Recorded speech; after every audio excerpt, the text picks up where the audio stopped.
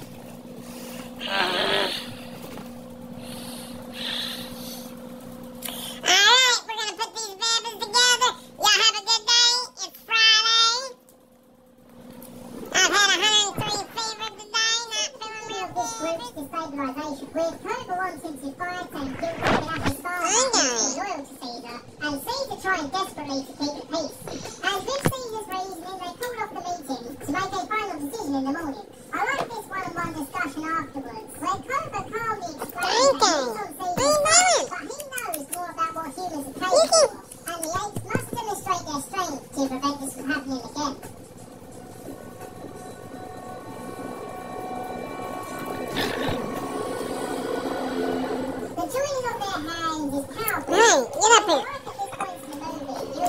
putting both sides of the argument. Koba isn't just some cartoon villain. Morning arrives and they decide to confront the humans so that Caesar can lay down some What? What? What?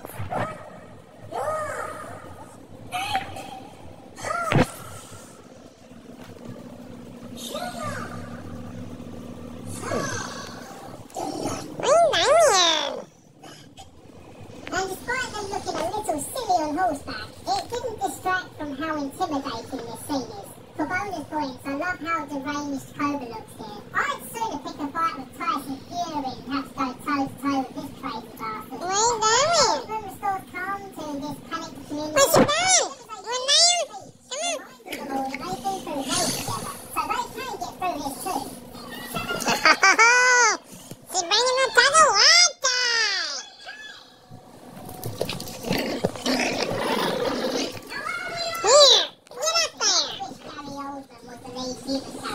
and not whoever this guy is, who's despite giving some emotional moments, his story just doesn't resonate with me the same way Gary Oldman does. And we're giving way more character than Gary Oldman. There's one Hi. thing made with Gary that perfectly demonstrates this quality over quantity of screen time.